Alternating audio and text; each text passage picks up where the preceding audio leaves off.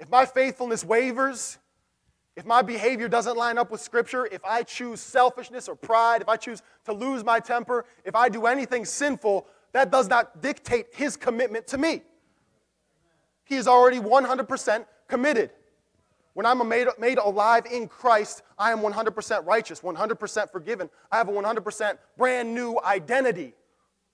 The old is gone, the new has come. And so his commitment to me does not waver, no matter how I behave. No matter how far I choose to run from him, or how much I ignore him, or how much I buy into what the sinful lifestyle has for me, his commitment to me does not change. And we weren't given this gift of freedom to sin all the more. We weren't given liberty so that we could test it to its extremes. But we were given it so that we could be free to choose where we want to go, what we want to be, who we want to be about. We have freedom. You can choose. The legalistic believer says, I'm going to earn this. And when I sin, when I screw up, before I talk to God or before I go back to church, I have to go over here and I have to clean myself up. I have to have a certain amount of days clean before I can go back among God's people. I have to make sure I've sorted out and covered all my, covered all my stories to make sure I have the right one before I go back into God's family, back into church. I have to clean myself up before I come back before God. That's, you're putting too much faith in yourself. The prodigal son story is all about this that he betrayed his father, went away to a foreign land, partied until he was out of money, rehearsed the line that he was going to come back to his father and say, I'm sorry, please just let me be one of your hired hands. And when he came back, it says that his father, God in this story, the prodigal son who left and betrayed him is us in this story. When the prodigal son's walking back down the path, rehearsing his lines, his father sees him from a distance, sprints out to meet him, throws his arms around him, interrupts his explanation, and says, Give him a ring, give him a robe, let's throw a party. My son was lost, and now he is found. We can run back to God. We don't have to go clean ourselves up first. He came from the mud where he was feeding pigs, and he walked home, and God the Father sprinted out to meet him, threw his arms around him. Let's have a party because what was lost, my son was lost, and now he is found. Right? That's the good news of grace. Legalism doesn't have any play in that. He didn't get through his legalistic like excuses and I'm sorry's and please take me back this way, God. The Father interrupted it and said, Let's throw a party. You're back. That's good news. That's the good news. So, the first incorrect response to the gospel of grace is legalism. The second one is a lukewarm faith. Right? You respond in lukewarm or half hearted commitment back to God. And God's commitment to you was not half hearted, was it? It was crucifixion and torture. Right? Perfect lifestyle lived before up to that point, sinless. Torture, crucifixion when he did not deserve it, and rising to new life. He was wholehearted in his commitment to you in a half hearted commitment or a lukewarm faith, that sort of response, a lukewarm believer is looking to be validated, to be justified in his behavior, to say, I don't have to have all out pursuit of God. I don't have to seek or obey or love God with all of my heart. Jesus is my homeboy, right? We're boys. He's cool with me. I'm cool with him. Everything's all right. It's chill. I know I'm going to heaven. You want to be a cool Christian? What Jesus says about the lukewarm believer is this You are lukewarm. Again, this is Jesus speaking. You are lukewarm and neither hot nor cold. I will vomit you out of my mouth because you say, I'm rich, wealthy, have no need of anything, and do not know that you are actually wretched, miserable, blind, naked, poor. Can you, that, that's, you have to strike that balance there. I'm rich, I'm wealthy, I have no needs. Jesus like, no, actually, you're miserable. You don't even know it. You're blind. You're naked. You're poor. You don't even realize it. You think you're rich and wealthy? A lukewarm believer doesn't want to cut things off of his life. Like, I'm still going to live with my girlfriend. I'm still going to go party here. I'm still going to choose to live this lifestyle. I'm not going to cut anything out. I'm going to continue to live the way I lived before I got saved because Jesus loves me and I have freedom and I have liberty and I can do whatever I want because I have freedom. And they use their freedom as an excuse to go behave any which way they want. And Jesus is saying, You think you're rich and wealthy and free and happy? You don't even realize what you're missing out on. You're miserable. You don't even know it. You're so afraid to change anything in your life and cut anything off of your life, you don't realize the pure gold that I have available to you. It's like you're playing in a mud puddle, pumped on it, And your parents are trying to get you inside, like, come on, let's go to Disney. Let's get you cleaned up. Like, no, mom, I'm good. Look at this mud. It's freezing cold. You're cold. You're naked. You have so much mud in your eyes you can't see. I'm trying to take you to Disney. Let's go. You're like, no, I love mud. It's like you don't even realize what you're missing out on. The lukewarm faith, the half hearted commitment to Jesus saying, Yeah, I'm saved. I believe in God. That's where I existed before I got saved forever. Yeah, I believe in God. Yeah, I'm in. I believe in Jesus. Yeah, God. All those things. I believe in them. I don't want to talk about it, but I believe in it. And it's like, it's like being a homeless man that lives under a bridge. Right? You're a homeless man living under a bridge, and you come into an inheritance millions of dollars. You just find out that one of your long lost family members left you a huge inheritance. There's a whole family waiting for you, a whole inheritance waiting for you. You have the opportunity to buy homes, to start your own businesses, to pour into the people that you love, the people that you've interacted with in your homelessness. You can go love on them and take care of them. You have all these opportunities available to you, and you're like, I'll go pick it up tomorrow. I'm going to chill under the bridge for a little bit longer. I'm all right here. I'm, I got it. It's there. I know it's there. I know I have a whole family that wants to love on me and walk me into what it means to have all this money, to have all these, this favor, this blessing in my life. But I'm kind of chill under my bridge right now. I'm going to stay right here. You have an inheritance waiting for you. And a lukewarm believer doesn't understand that, man, a couple changes in your life, you can follow Jesus sincerely, and he will open you up to what you were created for. To worship and to glorify, to follow, and to love him with all your heart, soul, mind, and strength. That's what your creation purpose is. You're most in line with who you naturally are when you are doing those things. A lukewarm believer doesn't even understand how much they're missing out on. The third response, incorrect response to the gospel that we talked about last week, was the confused believer. And these are sincere people who have sincerely committed themselves to Jesus, right? I sincerely have been changed. I need Jesus in my life. I love you. I'm in for you, Jesus. But they're confused because they haven't built a foundation on the truth of Scripture. They're confused because they haven't had anybody, a spiritual mother or father, pouring into them, discipling them, and showing them what this lifestyle is about. And every trendy jo- doctrine that comes across their face, uh, I like how that guy communicated that thing. But then the next better communicator, completely opposite idea, they'll say, No, yeah, I like that. I like how he communicated that. I agree with him now. Oh, I agree with this guy now. And we're tossed to and fro, back and forth by the waves and the winds of doctrine.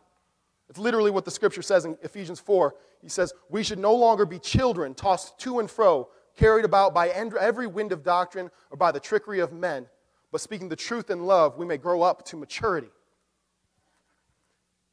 One of these three things, you're going to naturally feel like, yeah, I can see myself drifting that way. I can see myself drifting that way. I have the tendency to fall into the legalistic side. I'm more lukewarm with the way I behave. I've kind of just fallen into confusion and haven't really pursued the truth and what God has available to me. I'm begging you, if you're a confused believer, please get discipled. It works way better than if you have any confusion that you go seek out someone to disciple you. It works so much better. From experience, I've, I've gone after God. Hey, let's do this. Let's do this. Let me come with me. I'll, let me pursue you. Let me disciple you. Let me pour into you. And like, yeah, yeah, that'd be awesome. I'd love that. Maybe once, twice, three times, four times if we're really pushing. And they're not, they're never seeking after you. You have to pursue them so much that there's not really an opportunity to help because they haven't really invested anything. They're not wanting it, they haven't pursued it. So if you are falling into that confused category, please look around. We have so many seasoned believers in this room that would love to walk alongside of you. We call this a family for a reason. We want to be there for one another, pick one another up when they're weak, walk and speak the truth in love. Say, this is what Scripture says. You don't have to be confused about those difficult questions. God can handle your toughest questions. He can handle them. And I know I'm taking a long time just to recap the last two weeks, but it's that important. Okay? You need to get grace. You need to understand what God has done for you and saved you from. Romans 6:11 says this, "So you also must consider yourselves dead to sin and alive to God in Christ Jesus." Consider that word there, that that means to reckon, to take into account, to weigh the reasons, to deliberate, to determine, to decide. You must deliberate, decide, consider, reckon, measure the reasons about you are dead to sin. You need to dwell on that. You need to understand it, soak it in, reckon it, weigh the reasons that you are dead to sin, and now you've been made alive to God in Christ Jesus. You need to wrap your mind, to wrap your heart. It says to renew your mind. to the new truth that you have been made dead to sin and alive to Christ. Where you were dead in sin. You were dead in your sin. There was nothing you could do. Remember, that was your identity before salvation was dead. That was all you had. There was no ability that you had. But now, what you did, you were raised to new life, right? You rose victoriously with Jesus from the dead. You were dead. Jesus came back, conquered death. That has no hold over us anymore. We're victorious over it. So we are no longer dead. We have been made alive to God in Christ. We've been made alive to God in Christ because of what Jesus has done for us. Let me get into this here. When at the beginning of creation, I'm just going to go back to this just for a quick explanation. At the beginning of creation, Adam and Eve in the Garden of Eden, Adam sinned, right?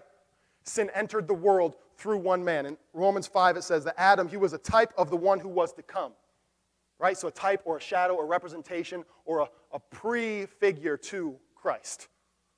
Adam, through Adam, sin and death entered the world and reigns.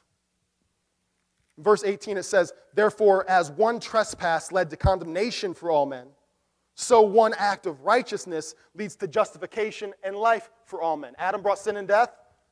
Jesus brought life and justification. We're justified now. The justice has been served, and we didn't have to serve it. We stand justified before a perfect, almighty God who cannot take any sin. Sin must have death. For the wage of sin, the payment you receive from sin is death. Romans 6:23. Romans 3:23 says that all have sinned and fallen short of the glory of God. Through Adam, sin and death came into the world. Through Jesus, it says that life and justification for all men. For as by the one man's disobedience, the many were made sinners, so by the one man's obedience, the many will be made righteous.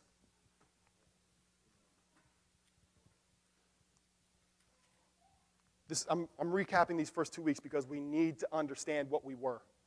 And we need to understand what Jesus did and then what we became. We were dead, right?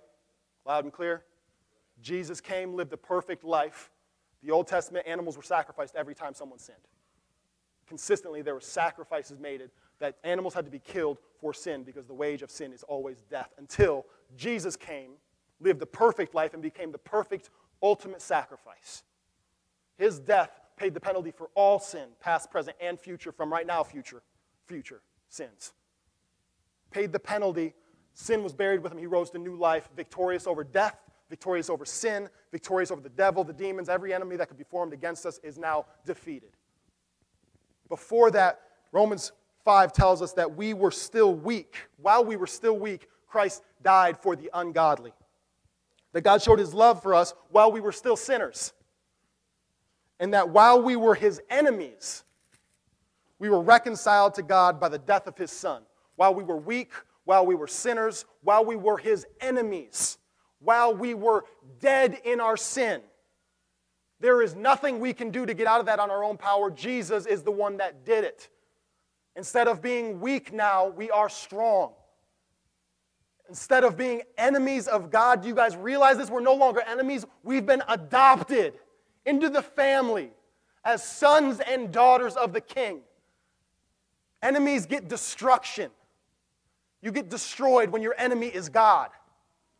Sons and daughters get an inheritance. They're a part of the family. They're brought into the kingdom, brought into the house, brought in with brothers and sisters. It says that Jesus may be the firstborn among many brothers and many sisters. We're part of the family. We're, we were enemies. Now we're part of the family.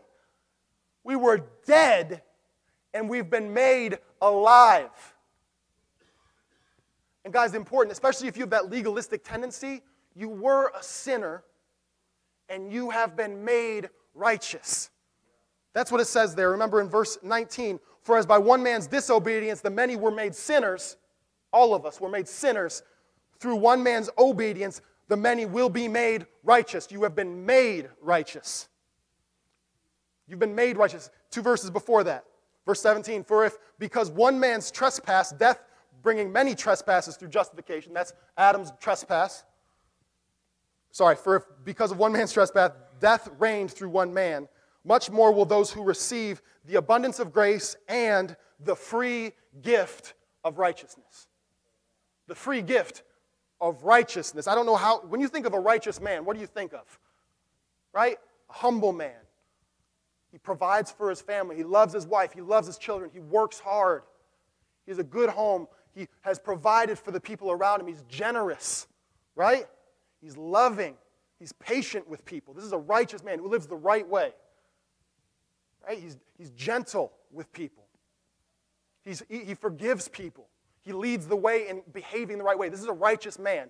And it says that that righteousness, you're not behaving in it, it's gifted to you. 100%.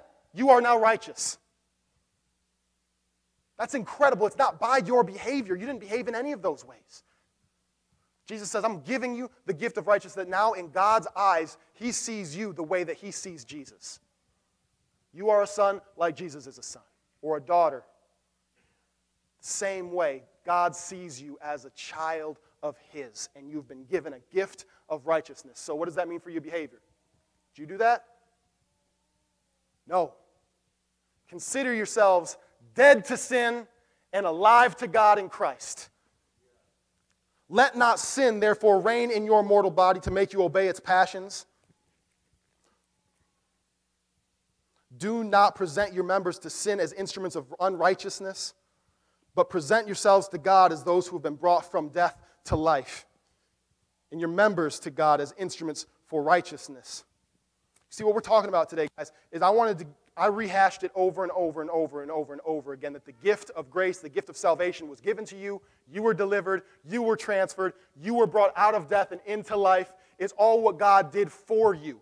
You were made alive to Christ. Alive, you were made alive, right? You're alive right now, too, in the physical body. You're alive, right?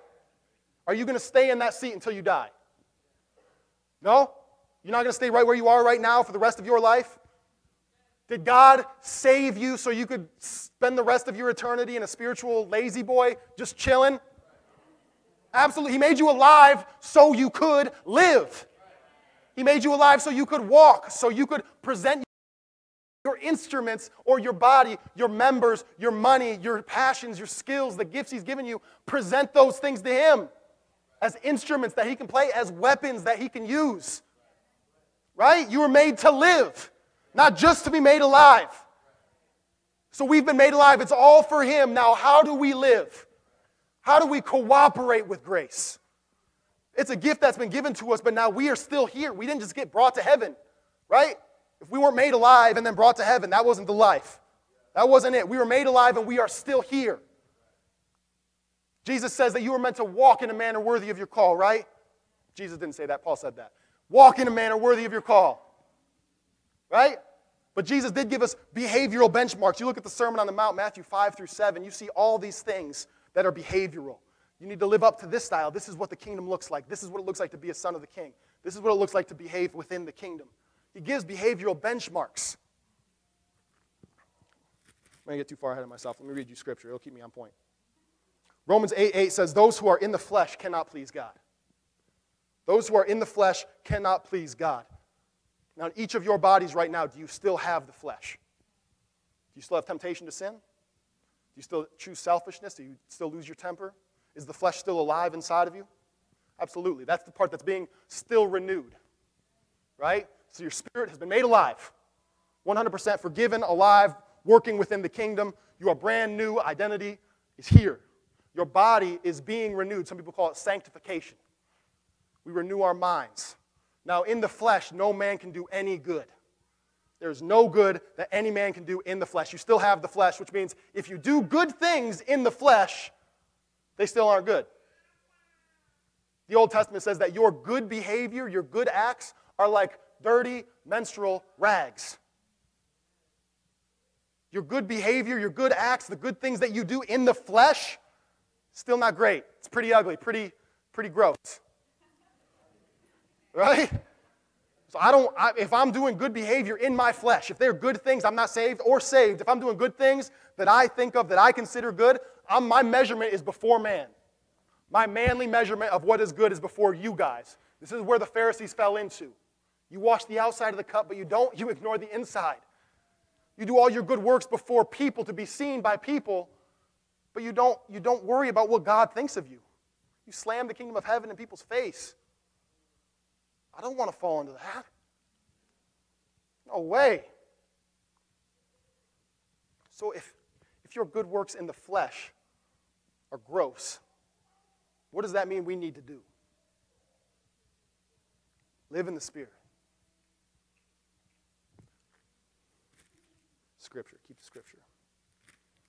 Romans 12, I appeal to you, therefore, brothers, by the mercies of God, to present your bodies as a living sacrifice, holy and acceptable to God, which is your spiritual worship. Do not be conformed to this world, but be transformed by the renewal of your mind, that by testing you may discern what is the will of God, what is good, acceptable, and perfect. See, it says right here that we need to be presenting our bodies as a living sacrifice. My passions, my skills, my ability to communicate is completely given to God, right? Any, any skill that He's given me, it is now an instrument for Him to be used. And it says that you must test, you must renew your mind, right? So when I say, I'm going to preach a good sermon today because I want people to think I'm a good preacher. No, no, no, no, no, no, no, no, no. That thought will crawl into my mind. Natural. Natural. I want to be seen as a good preacher. I want to be seen as a good leader of the people. I want to be seen as somebody that's worth coming and listening to. I ha- that is not true. I have to renew my mind right there. See? Natural instinct is telling me I want to be seen by you guys as somebody that's important, somebody that's got something to say, somebody that's worth listening to. Those are the ways all my temptation in my flesh is going to draw me. And I have to say, no, no, no. God, honestly, if you want to make me look like an idiot up there for your glory, praise God. Right? It's happened before. honestly. Honestly, it has. God, whatever you want to say, I submit it to you. If you want to rewrite anything that I had written down, feel free to do it. I'm going to come up here and I'm going to say, This is all yours, God. Do what you're going to do. Anything that comes from me, make it fall short, make it die before it hits people's ears. But anything from you, I pray that it takes seed in their heart and grows to real spiritual life.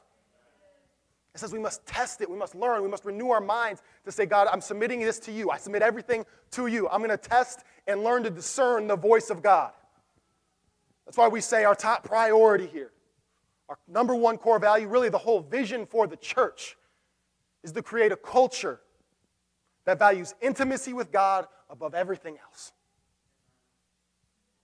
Because if you spend time intimate and alone with God every single day, like Jesus calls us to do, you will begin to hear his voice. You begin to learn to hear what he sounds like. You'll begin to recognize him in the hustle and bustle of your day to see where he is moving and see what he is doing. Naturally, when you consistently submit yourself to the Holy Spirit that lives within you, you will start to pour out fruits of the Spirit. The everlasting, eternal good works that actually matter love, joy, peace, patience, kindness, goodness, gentleness, self control. All I would just for self control, I'd be pumped to go after it. If I could learn to control myself in every circumstance, we'd be set. Just that one thing, to have that pour out of me, praise God. I want all of them, though. And to do that, it says present yourself, present your lives, present your members, present all of the things that you have available to you to God. You have the Holy Spirit inside of you now and you did nothing to get that. Really, all your good behavior that you can even try to do is just going to make it look ugly. Don't try so hard. Don't fill your day up with a busy schedule every single day. Don't wake up five minutes before you have to be somewhere. That's personally convicting. Make time for God. Set time aside to say the most important thing every single day, including today, right now, is to hear from you, to spend time with you, to listen in, and to submit myself wholeheartedly to you. We've said before, even if it's just that first 10 seconds where you lace up your shoes, say, God, my day is submitted to you. I love you. I trust you. You are my leader. I don't want to get in the way. Start there. Build into it. You don't need to graduate from today to be an hour long devotional every single day. On the weekends, it's three hours. You don't need to graduate into that first day. Remember, it's messy. When you first convert, all the lifestyle habits you had don't just go away. The flesh is still there. Don't be too hard on yourselves. But don't exist in such a way that you're abusing the freedom you've been gifted with. Christ has set you free for freedom's sake. He wants you to be free. He says, My load is light, my burden is easy. Come to me if you're tired. Come to me if you feel lost. Come to me if you're hungry. Come to me if you're thirsty. I'll satisfy you. People have so many spiritual questions. People say, I believe in God, but I don't know if I want to buy into the whole Christianity thing to believe Jesus and that the Holy Spirit. And when people are worshiping, putting their hands in the air, it gets weird. Right? It's, it makes me uncomfortable. The different things that church brings with it, I don't, I don't feel real comfortable in those atmospheres. But guys, if we submit ourselves to the Holy Spirit, He was sent to be our comforter. That's one of His things. He's our teacher, He's our comforter. Jesus says, I'm sending one to you, and he will be your comforter. If you never leave your comfort zone, you have no need of the Holy Spirit. If you always exist in where you're comfortable, the Holy Spirit will never be alive in your life. If you always exist in the safe space that a lot of churches allow you to exist in, you'll never step out and say, This is, this is weird. I'm going to pray for your foot because you got a cast on. I'm sorry. I'm doing it though. Can I lay hands on you, please? Thank you. God, please heal it. Nothing happens. That was uncomfortable. Luckily, you have the Holy Spirit to comfort you right? Or they get healed. That was worth it. They're not going to be too pissed at you because you healed them. They're not going to be too offended. They're not going to be too like, ah, this guy's weird. No, you got he got healed. It's okay to step out. We want to be led by the Spirit. And again, you don't got to graduate to varsity level Christianity first day. It's just saying don't be half-hearted. Don't be lukewarm. Don't let yourself fall into legalism to say, I'm going to do everything the right way and I'm going to earn this. The Bible tells us if we could earn it, Christ died in vain. He never needed to die. If we can earn it, if we can behave a certain way, if you can look at like, there's no way that this person that I love that was so good can't be in heaven. They have to be in heaven. The best works of those people, as much as it hurts, isn't enough. That sucks, but that's just what the Bible is telling us. We need Jesus. We need the Holy Spirit. We need God. Without it, it's hell. That's heartbreaking to me in so many ways, but I'm not going to be a lukewarm, half hearted Christian that doesn't reveal that to people. I have the best news in the world. I'm going to share it with you because it's not hard. Yeah, it might seem weird. The best news is you don't have to do anything. God loves you. God will deliver you. God will transfer you. God will conquer everything for you. And the, you're made alive. You'll get that. You'll experience it. Don't stay in the mud puddle. Walk out of it and go embrace what God has created you for. And when you do, the love that you seek after in relationships or from parents or from children will not be what you need to be satisfied in love. God provides the perfect thing. Joy and peace doesn't come from money and stuff. Those things leave you hollow and empty. It's playing in the mud puddle, it's staying under the bridge. Joy and peace come from God despite circumstances.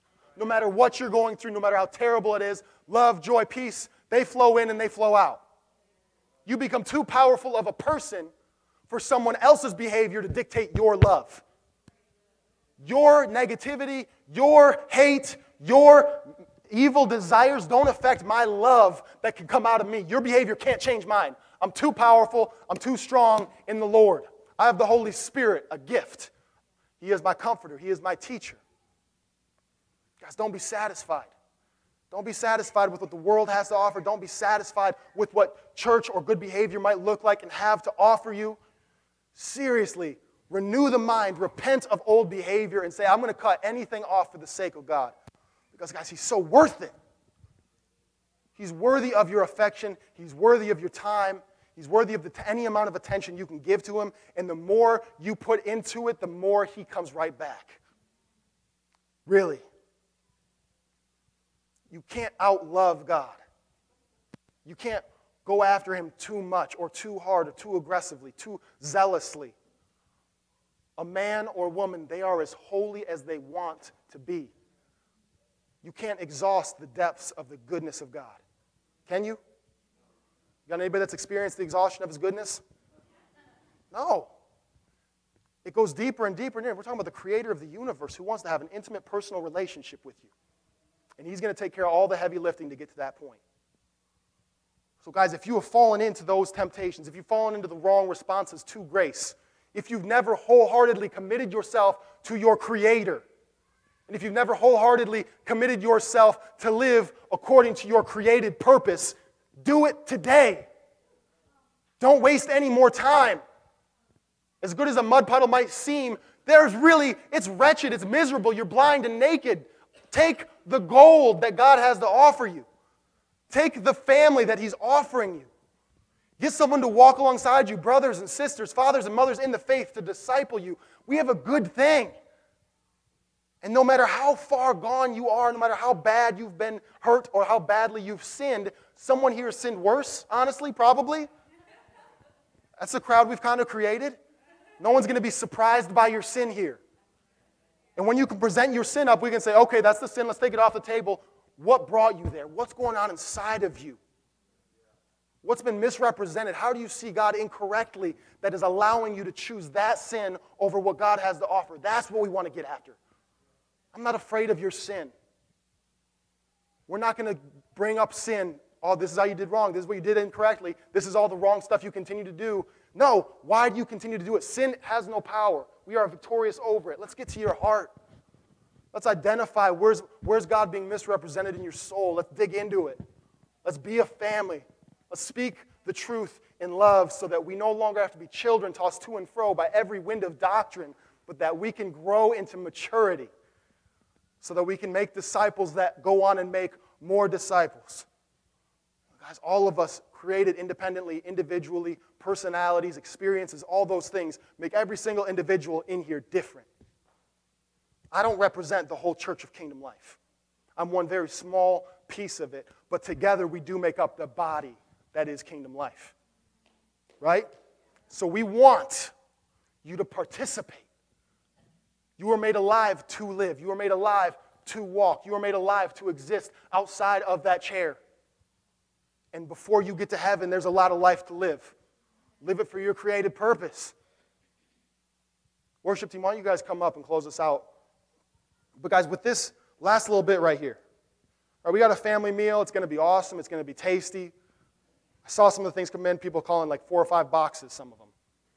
I know there's food out there before we get to that, good things, hanging out with the family. But before we get to that, I want you to take a hard look at your heart. Take a sincere look at what's going on inside of you.